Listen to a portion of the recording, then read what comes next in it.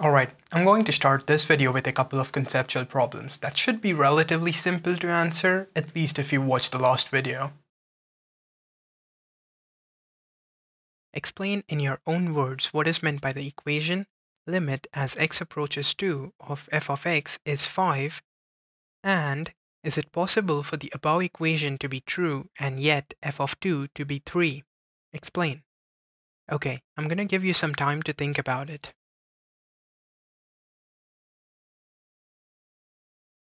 For part A, the given equation tells us that as the value of x gets close to 2, the value of f of x gets close to 5. As for part B, your answer should be yes or no followed by an explanation. What do you think? Is it possible for the limit of the function as x approaches 2 to be 5 and yet f of 2 to be 3? The answer is Yes, it is possible that the graph has a hole at 2, comma phi and the function is defined such that f of 2 is 3. That is what you would write as an answer if this equation is asked on a test. Here's an explanation with an example, just to reinforce your intuitive understanding of limits. Let's consider the function f of x equals x squared plus x minus 6 all over x minus 2, which is just one of the infinitely many functions that fit the requirement. This is what the graph looks like. It has a hole here at 2, 5. Now, think of part A. As x approaches 2, f of x approaches 5, and it is possible that the function is defined like so. I know this way of defining a function may be alien to some of you, and that is totally fine. You'll be seeing such definitions a lot when we get to a topic called continuity. Just understand that this definition is telling us that if you want to graph this function, you should use this expression for all values of x except 2, and at x equals 2, the value of the function is 3. Now, if you think of part a and b together, you should see that this function fits the given problem. And if you're still not comfortable with the explanation, I want you to understand that this equation right here, it just tells us what this function is doing when x is very close to 2. It tells us absolutely nothing as to what's going on at x equals 2. That's just how a limit is defined. And I can show you the formal definition of a limit, but it looks scary with a couple extra variables like epsilon and delta. Moving on to the next problem. Explain what the following equations mean. What about limit as x approaches 1 of f of x? This equation tells us that limit of f of x as x approaches 1 from the left side is 3, and the limit of f of x as x approaches 1 from the right side is 7. Let's consider this function as an example. The graph looks like so. You see, as x gets close to 1 from the left side, the value of y gets close to 3, and as x gets close to 1 from the right side, the value of y gets close to 7. And this is just an example that I created to illustrate the point. It is possible to create an infinite number of functions that satisfy this requirement. The next part of the equation asks us what about limit as x approaches 1 of f of x. Since the left-hand limit and the right-hand limit are not equal, we say that the limit of f of x as x approaches 1 does not exist. If the function were approaching 3 from both the sides, then we could say that limit as x approaches 1 of f of x is 3. For a limit to exist, the left hand and the right hand limits must exist and they must be equal. We don't care about what's going on at that point. That is an equation that we will use a lot when we get to continuity. Moving on to the next problem. This comes from the college textbook called Calculus the Early Transcendentals by James Stewart. For the function h whose graph is given, state the value of each quantity if it exists. If it does not exist, explain why. I think such problems really test your intuitive understanding of limits and therefore are almost always asked on exams.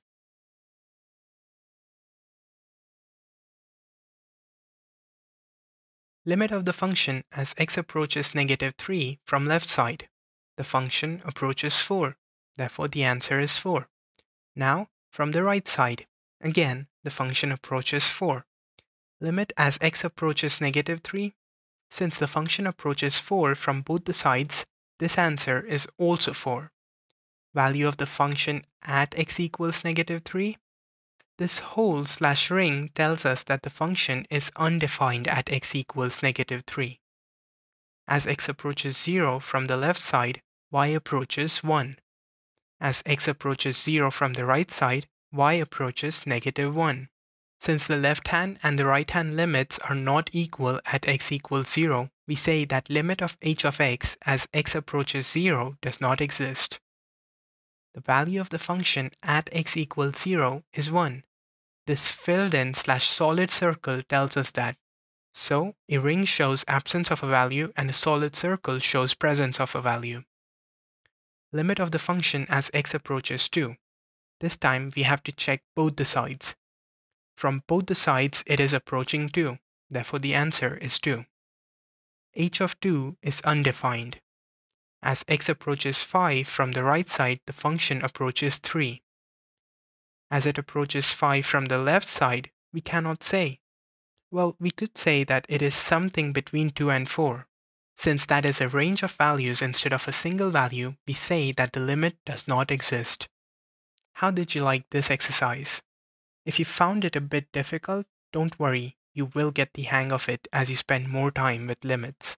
The next topic that I want to cover is algebra of limits. I'll be honest, this is a very boring topic, but it is important.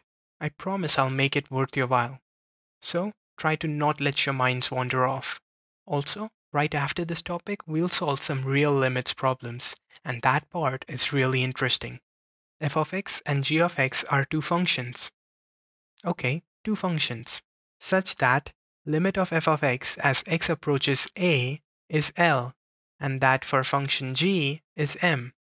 That means a is a point in the domain of both the functions, and L is in the range of f, and m is in the range of g. In simpler words, a is on the x-axis, whereas L and m are on the y-axis. We will use this information to simplify these expressions. Limit as x approaches a of f of x plus g of x. We can rewrite this like so. You might think that this looks like distribution, and I agree it looks like distribution, but trust me, it's not. In fact, limit went wherever we had x, the variable. Now, Using the given information, we can say that this is L plus M. You can do the same with the difference of functions. And I say functions instead of saying two functions because these properties are true even if there were three, four functions, as many as you want. The property is true. Now, we have the product of f and g. Again, limit can go wherever we have x, the variable. This simplifies to L times m. Next, we have the division of f and g. Same, limit goes to the variable, so we have L over m. With division comes the obligatory rule that the denominator should not be equal to 0. If, however, the denominator is 0, then crazy things start happening. And we will discuss that as well as the indeterminate forms of limits shortly. Not in this video though. Here we have k times f of x. k is just a constant, meaning any number. Again, limit goes to the variable. It does not care about constants. This simplifies to k times L. Finally, we have k raised to f of x. Same rule, limit goes to the variable. So we have k raised to the limit of f of x, which simplifies to k raised to L.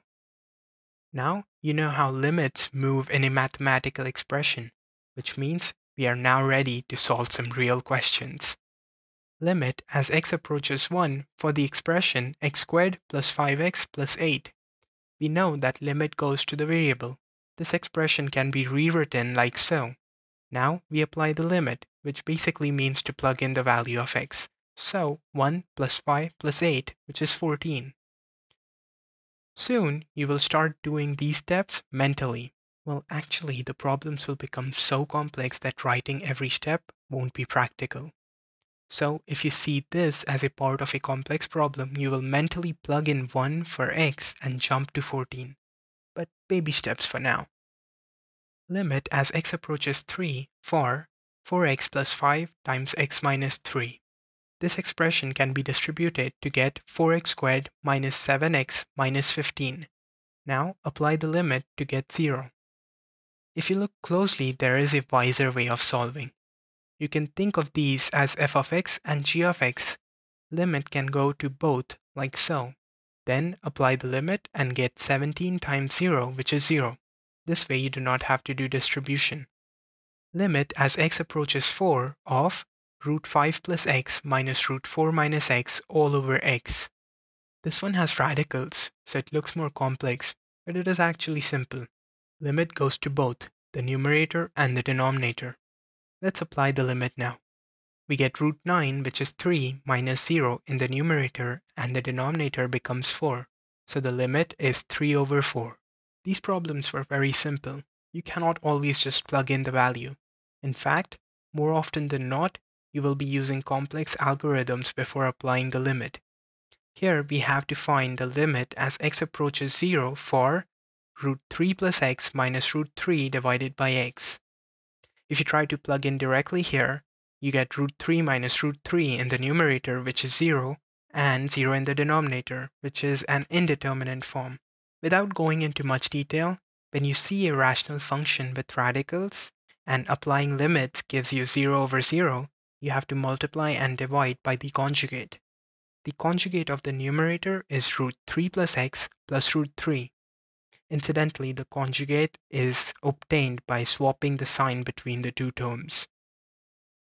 As a side note, in mathematics, we can do practically anything as long as we do not change the value of the expression. We can cancel these terms out if we wanted to, not that we would, which essentially means we have multiplied this by 1. Multiplying by 1 does not change the value, and so 1 is also called the identity element for multiplication.